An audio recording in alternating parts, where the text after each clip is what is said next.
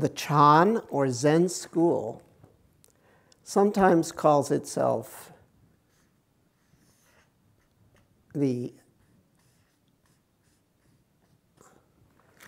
the school of consciousness. In other words, uh, it uh, teaches the nature of consciousness. There is a famous set of drawings that show one paradigm or one possible model for the path of uh, coming to understand the nature of your consciousness. And it's called the 10 ox herding pictures, Shi Niu Tu in Mandarin pronunciation, Ju Gyuzu in the Sino Japanese. Uh, Niu means an ox, and um, the ox symbolizes um, the nature of consciousness.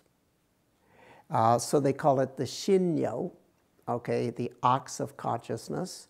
The uh, consciousness uh, symbolized by the ox.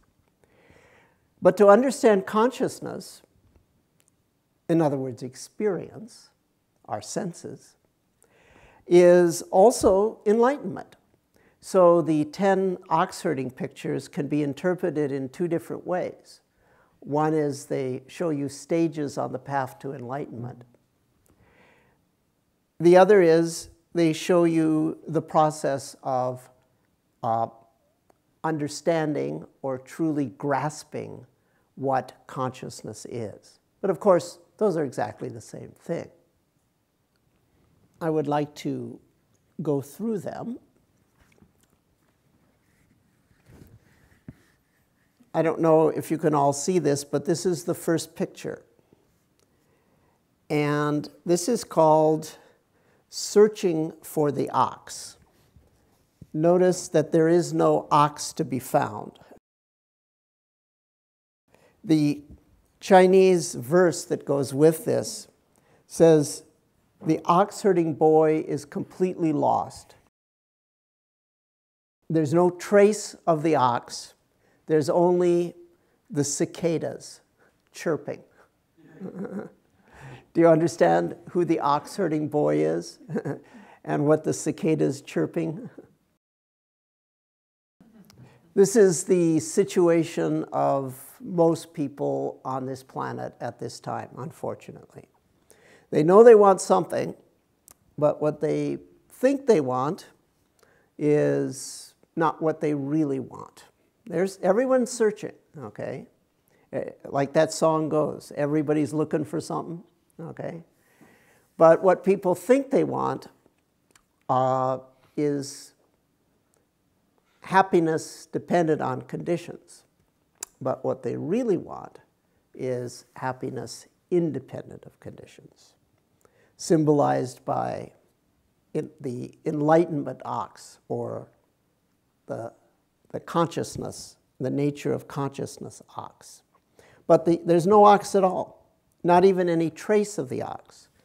He's just wandering around searching for something, looking for something, and just hearing the, um, the twittering of the cicadas which is unfortunately the situation for most people. Some people, though, in their wanderings, get fortunate. They see the tracks of something. They haven't seen the nature of consciousness. They haven't seen the ox. They haven't experienced enlightenment. But something gives them an indication that there is this possibility.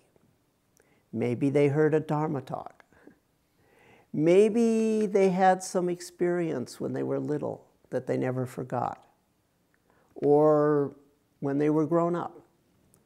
Maybe they had a friend that came to a retreat, etc., etc. they get some indication that there's another possibility beyond the transient fulfillment of the twittering world. So, this is called seeing the footprints. Every one of you has seen the footprints, or you wouldn't be here. You might guess what the next step is. He sees the tail on the ox, the tush, and a few hairs of the tail. Hasn't really seen the whole ox yet. But can you see? There's the tush and the tail. And it's like, oh my God, it really exists. I haven't seen it all, but I have seen a little piece of it. Most of you are at least in this category. You've gone beyond just seeing the footprints, okay? You, you've actually gotten a little visage of who you really are. Or you wouldn't have survived two weeks in silence. so you, you've seen the ox, but that's not the same at all as catching the ox. um, you see, he's got, a, he's got the whole ox, and he's got a hold of it. Now, we could say that this would be perhaps one's first glimpse of no self, stream entry, or kensho type experience. You've actually seen the whole ox, the nature of consciousness, which is no thingness.